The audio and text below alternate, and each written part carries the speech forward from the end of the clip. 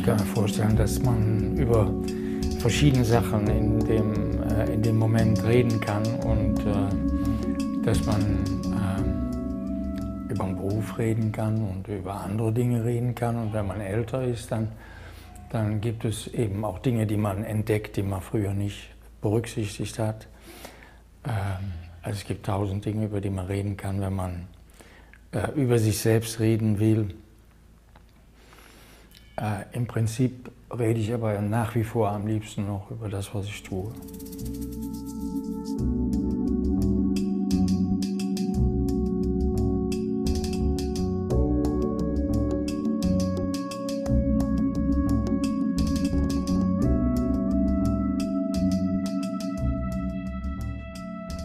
Äh, ich mache Kunst. Und äh, ich mache Kunst damit will ich sagen, ich mache nicht das, was man vor mir gemacht hat und ich mache sicher auch nicht das, was man nach, nach mir macht. Das heißt, ähm, ich lebe in einer Zeit und ich lebe in einem äh, historischen Moment. Ich lebe an Orten und die Orte wähle ich. Und äh, äh, es geht mir nicht darum, äh, irgendwem zu sagen, äh, versteh mich. Es geht mir darum, irgendwem zu sagen, versteh dich.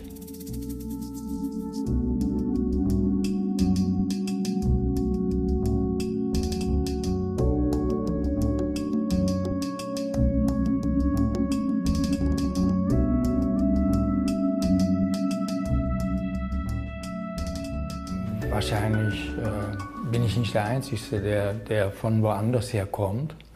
Und wenn ich äh, also daran denke, ähm, was hat das für eine Relevanz, dass ich äh, nicht in dem Land lebe, in dem ich geboren bin, äh, dann fällt mir im Moment einfach Migration ein. Aber es ist nicht mein, ist nicht mein Problem. Äh, aber ich bin in dem Sinne, bin ich einfach, äh, ist mir bewusst, dass ich äh, eine gewisse Ähnlichkeit habe mit anderen Leuten, die heute unterwegs sind und die aus gewissen Gründen unterwegs sind und die nicht gewählt haben, ob sie unterwegs sein wollen. So wie vor mir andere Leute, die Deutschland verlassen haben also das Gleiche getan haben wie ich, dass die in einer Situation waren, wo sie nicht Deutschland verlassen wollten. Genauso wie heute ein Syrer Syrien nicht verlassen will. Also gibt es Ähnlichkeiten und die äh, Ähnlichkeiten sind interessant. Äh, aber für mich selbst äh, ist es wichtig, dass ich sage, mich hat keiner geschickt und mich hat keiner erwartet. Also das heißt, äh, äh, ich bin einfach äh, in vielen, ich habe in vielen Ländern gelebt, ich habe in vielen Ländern gearbeitet und das Leben war immer in dem Sinne interessant, weil es mir Türen geöffnet hat, das Leben. Nicht die Akademie, nicht die höhere Schule und nicht meine Großmutter haben mir erlaubt, Türen zu öffnen in die Kunst, sondern das Leben, was, das, was ich erlebt habe und das, was ich auf dem eigenen Weg, äh, was mir zugestoßen ist.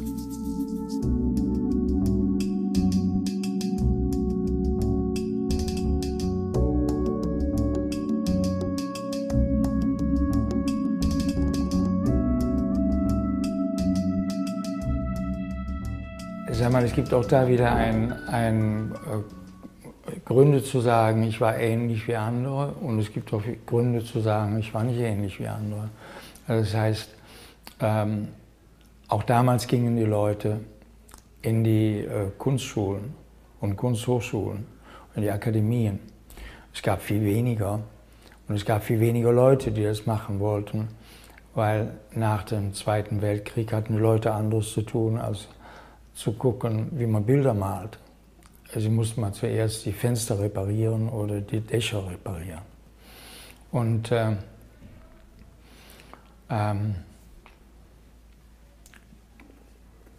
ich war nie in der Kunsthochschule und ich wollte kein Künstler werden. Ich habe mich nie dazu entschlossen, Künstler zu werden. Ähm, ich wollte, wenn was, wollte ich schreiben.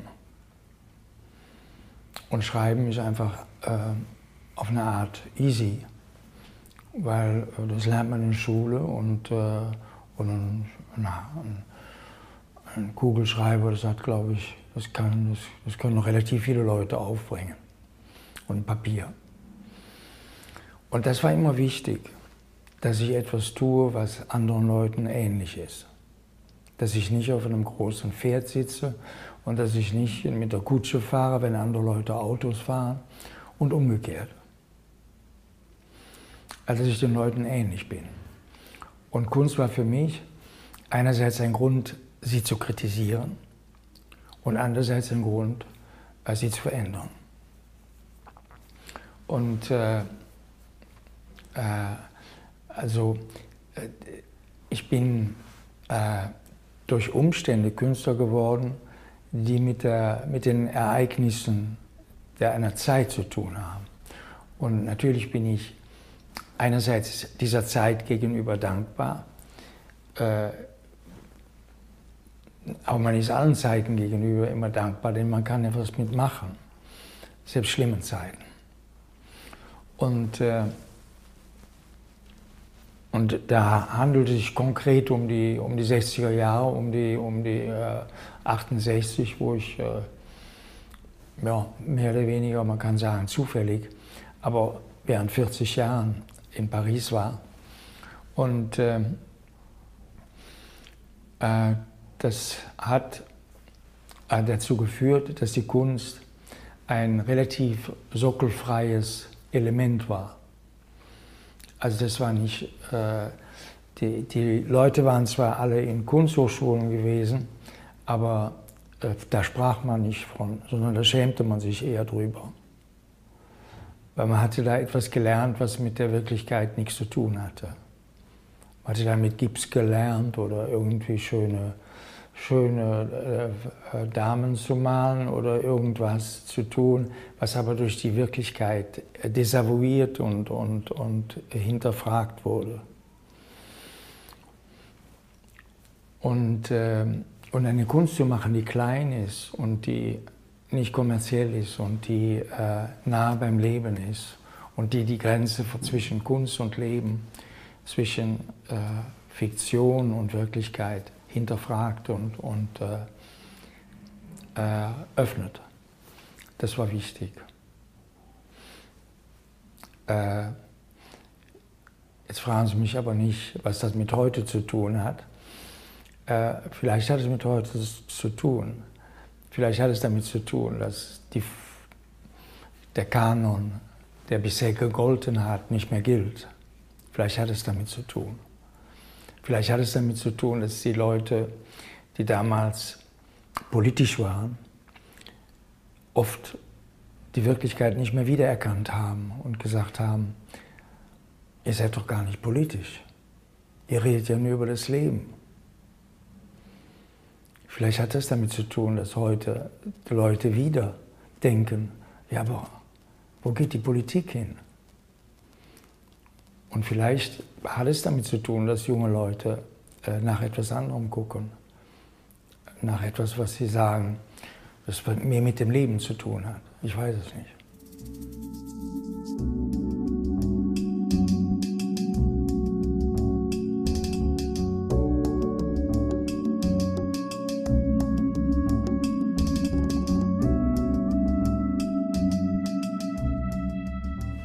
Schriftsteller sind komische Leute oft. Äh,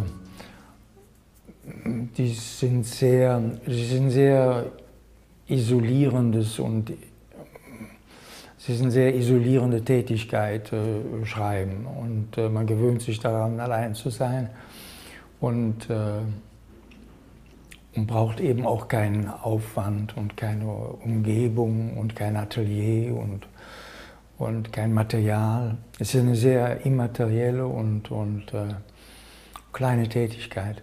Und äh, ich habe geschrieben, aber ich habe zur gleichen Zeit auch keinem gezeigt, was ich gemacht habe. Aber ich war immer zusammen mit den Künstlern. Ich war immer zusammen mit den, mit den, äh, mit den Künstlern, äh, gleich wo ich war, in Düsseldorf oder in, in äh, Basel. Und ich habe studiert und äh, habe aber nie etwas zu Ende studiert, weil mich das nicht interessiert hat. Ich brauchte das nicht. Aber mich interessierte der Austausch der Gedanken und der Austausch der, der Ideen. Ähm, und was mich aber am meisten interessiert war, war, hat, äh, war einfach die, die Distanz zwischen der Kunst und zwischen, zwischen dem oft desolaten Zustand des gesellschaftlichen Lebens.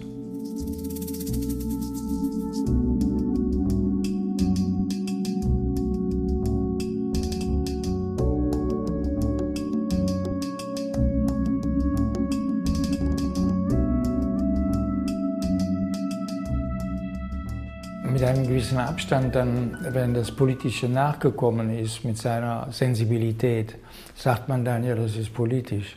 Aber wenn es passiert, ist es oft nicht als politisch erkannt. Ah, hm.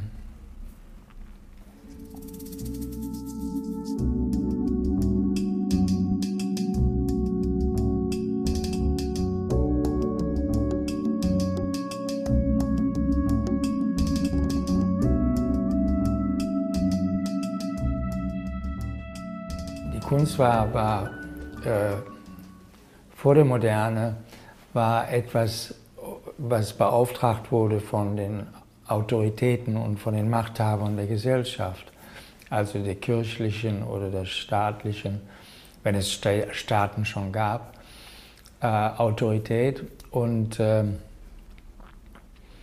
ähm, und der Künstler war also quasi im Dialog mit, mit diesen Autoritäten. Und das war eigentlich äh, während der ganzen, dem ganzen Abschnitt seit der Renaissance war das einfach so. Äh, der Künstler ist also abhängig von, von, von Äußerem, von um, um, Umge Umwelt. Und, äh, und dann hat sich der Künstler im Ende des 19. Jahrhunderts äh, mehr und mehr dazu entschlossen oder so entwickelt, dass er äh, sich selbst beauftragt hat. Dass er also sich ins Atelier äh, zurückgezogen hat und im, im Atelier äh, seine eigenen Vorstellungen entwickelt hat. Und, äh, und so ist, es, ist die Kunst eigentlich ins 20. Jahrhundert gekommen und, und hat als, äh, zum Teil auch als Störenfried der Erwartung, der bürgerlichen Erwartung, dass Kunst die Überhöhung und dass die Verschönerung und dass die Dekoration der Umwelt sein solle, hat sich oft auf die Seite des Hässlichen und des Leidens und des, des Kritischen äh, gestellt. So kam es dann zu solchen Begriffen wie entartete Kunst und so, weil, weil einfach die Kunst nicht mehr, nicht mehr erbaulich war. Und, äh, und, äh, und ich habe nach einer gewissen Zeit, ich, ich kam da ich nicht in der, da ich wie gesagt nicht das Metier gelernt habe und dass ich keine, keine, äh, keine Kenntnisse von, von dem, vom Malen, vom Bildhauern, vom Zeichnen, von, von all diesen Dingen. Äh, ich sage immer, ich mache mach alles andere. Und äh, und dann sind die Leute aber immer noch sehr, sehr verunsichert und sagen, was ist denn das andere? Und da kommen sie natürlich irgendwie an so einen Moment, wo sie denken, dass sie nicht zuständig oder dass sie nicht, dass sie nicht kompetent sind, um das zu. Und dann haben sie einen kulturellen Minderwertigkeitskomplex. Nicht? Und dann, weil die Kultur ist etwas, was man, was man kennen muss, sonst ist man ein Dummkopf. Und das lebt immer noch in uns, obwohl kein Fürst mehr da ist, der uns sagt, du kriegst jetzt von mir kein, kein Geld mehr, weil du bist dumm. Also, aber es gibt es immer noch, dass die, dass die Menschen sich disqualifiziert vorkommen, weil sie an der Kultur nicht teilnehmen können. Und äh, so, äh, so ist das in das 20. Jahrhundert reingekommen und durch das 20. Jahrhundert gab es einfach einerseits den, den, den äh, wirklich sehr fundamentalen Schrecken äh, durch, die, durch die, den Nationalsozialismus und den jüdischen Genozid. Äh, wie kommt ein hochkultureller Staat dazu, in kürzester Zeit zu dem barbarischsten Staat der, der Geschichte zu werden? Dank all seiner technologischen Mittel, dank all seiner technologischen Fortschritts. Wie kommt das? Wie kann das kommen?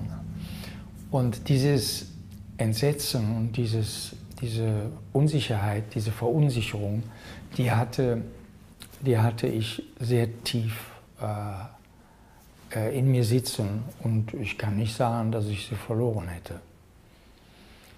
Und äh, so, so sind,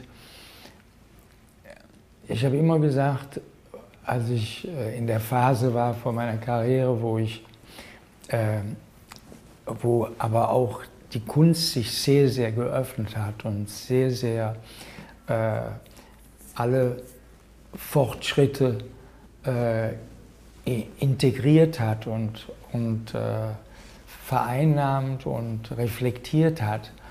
Äh, es gab immer eine Frage, die ungelöst blieb. Und das war, was tut die Kunst für die Gesellschaft? Also äh, es gab immer diese Frage, was gibt uns einen Grund, nach Auschwitz zu sagen, das kann nicht wieder passieren? Und dann sagt jeder äh, die Kultur. Und es hat keiner irgendwann darüber hinaus äh, ein Argument geschaffen, dass man das glauben kann. Wir sind wieder in einem sehr, sehr hochkultivierten Staat. Wir sind wieder in einer sehr, sehr kulturellen Gesellschaft. Und wir sind wieder in einer Gesellschaft, die äh, eine gewisse Erotik entwickelt gegenüber dem, dem Nicht-Gedachten, gegenüber dem Nicht-Reflektierten, gegenüber dem Nicht-Kreativen, gegenüber dem, dem Populistischen, gegenüber Argumenten, die wir gedacht haben, die seien für immer von der Karte verschwunden. Und äh, die Rückkehr in den öffentlichen Raum, äh, in den 60er Jahren habe ich mehr oder weniger im öffentlichen Raum angefangen, denn ich wusste nichts anderes, wo man hingehen konnte. Äh, es gab sehr wenig Galerien, äh, von Museen zu schweigen und in den Museen hingen äh, also Dinge, die jetzt auch wieder da hängen, aber äh, die also nicht mehr sehr frisch waren. Und äh, zeitgenössische Kunst war da abwesend. Und, äh, und so die, die, in die Straße zu gehen, das war einfach, das, das war die Galerie des kleinen Mannes, das war, da konnte man hin. Das gehörte keinem, da konnte keiner Nein sagen, da konnte keiner sagen, das aber ein schlechter Geschmack. Oder konnte keiner sagen, du gehörst dazu oder nicht dazu und so weiter. Also da hat das für Heft in der Hand. Da hast du selbst gemacht. Und, äh, und wie gesagt, dann ist einfach die Kunst als ein, großes, äh, ein großer Saugeapparat hat einen dann aufgesaugt und ich bin dann einfach äh, auch sehr, sehr äh, ja, anfällig gewesen. Äh, das ist ja nicht schlecht, wenn man da in Museen rumgereist wird und wenn, weil man plötzlich von was leben kann, von das man sich überhaupt nicht vorstellen kann, dass man von leben konnte. Ich war damals Taxifahrer oder Sportjournalist. Und, äh, und ja, das war's. Oder ein bisschen Werbung für Teppiche oder so. Ne? Und äh, das war's, das war möglich. Und das war an sich äh, viel besser als gar nichts. Ne? Und äh, nur dann plötzlich, wenn, der, wenn die Leute sagen, äh, oh, das, ist aber, das ist aber großartig und oh, das ist aber toll und das aber. Oh. Dann äh, natürlich weißt du dann immer, ach Gott, das ist äh, ja, ja, ja, sehr schön. Aha. Und du? Natürlich weiß man das immer nicht, aber es braucht eine gewisse Zeit, bis man dann. Ich habe immer gesagt, ich will wieder zurück in die Straße. Aber ich wusste nicht wie, weil das war einfach so undenkbar äh, unkommerziell. War so ähnlich, als würde man sagen, ich möchte gern wieder arm werden. Und, äh, und dann durch die Arbeit in Deutschland an der Vergangenheit, die Erinnerungsepoche äh, äh, von den 80ern bis in vielleicht 2005 oder irgendwie sowas, ähm, wo die Leute wirklich äh, eine Arbeit gemacht haben, die auch zivilisatorisch, glaube ich, selten ist. Ich kann mir nicht vorstellen, dass ein anderes europäisches Land schon gar nicht äh, jemals so in der eigenen äh, Misere gewühlt und gerührt hat wie die Deutschen. Und ich glaube, dass das, das war auch ein Grund, dass man dachte, die Deutschen werden immun sein. Und äh, und der, die Rückkehr in den öffentlichen Raum war möglich durch die Beauftragung der Gesellschaft, des Öffn der öffentlichen Hand, der Institutionen von Künstlern, sich mit dem Thema Vergangenheit auseinanderzusetzen. Die haben gesagt, es gibt da ein Format, das sind dies, was wir benutzen und was, wir, was also unproblematisch ist, das ist das Monument äh, kann man das irgendwie denken, dass es auch, dass es nicht nur zum Abfeiern der, der Siege, sondern auch zum Mahnen nie wieder. Und, und so sind diese Arbeiten eigentlich als ein Lob der zivilen Gesellschaft bei mir entstanden. Ich wollte Argumente liefern für die zivile Gesellschaft, äh, sich auf diesem letztlich unerschlossenen Terrain von der Kultur zu Hause zu fühlen und dort die Macht zu übernehmen und dort die eigene Sprache zu finden und damit letztlich auch den Künstler zu destabilisieren, die ganze, die ganze Hegemonie in der Künstlerschaft, also nicht nur über Künstler, sondern auch der ganze was und die Folgen, also Kunstgeschichte und all das, in die eigene Hand zu nehmen und zu sagen, wir müssen kreativ werden, wir müssen unser Leben ändern. Das ist das Problem. Das ist nie das Problem, wir müssen unsere Kunst ändern. Wir müssen unser Leben ändern. Und ich glaube, das, das war einfach der Grund, äh, warum im öffentlichen Raum man andere, andere Öffentlichkeiten traf als im, an der Vernissage, äh, beim äh, beim Austausch mit dem, mit dem Gläschen in der Hand, äh, mit den Sammlern und so weiter. Das war einfach eine andere Gesellschaft, das war eine größere Gesellschaft, das war eine schönere Gesellschaft. Es war eine vielschichtigere, komplexere, dies unhomogenere Gesellschaft und die hat einfach äh, Spaß gemacht. Und so kam das, dass, äh, dass während einer Zeit die Beauftragung, die an sich ein vollkommen unmodernes, altes Zurückgreifen auf die Fürstensituation ist. Nur ich habe gesagt, ich lebe in der Demokratie. Warum soll ich nicht zum Lob aller Teile dieser Demokratie beitragen? Okay, ja, das war's.